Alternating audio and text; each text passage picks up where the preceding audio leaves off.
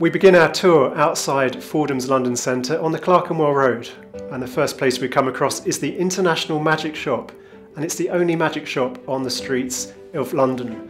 All the others have vanished. And we have here, right next to Fordham's London Centre, the um, Italian Church of St Peter's and this is built in 1863. We're now walking down Hatton Garden. Hatton Garden is famous for its jewellery shops Tucked down a side alley, not a lot of people know that there is a pub called the Mitre, which has been here since the 17th century. This part of London is peppered with pubs, and from the Bishop's Mitre it's not too far to my favourite pub called the Jerusalem Tavern.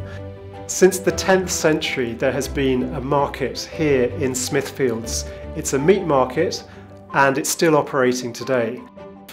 The great internationally known nightclub Fabric is right next to Smithfield Market. The Bishop of Ely's Palace took over this entire area and none of it remains except for the chapel.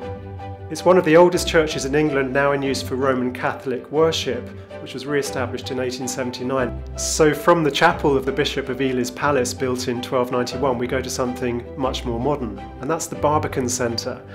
This brutalist centre is filled with cultural amenities including a cinema, a concert hall, a theatre, a library and an art gallery.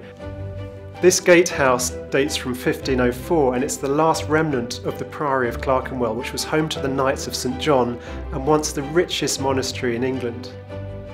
One of the great things about this part of London is its markets. Right opposite Fordham's London Centre is Leather Lane there's been a market here for 400 years, but it's now a thriving food market, and if you enjoy falafel or vegan burritos, it's the place to go for your lunch.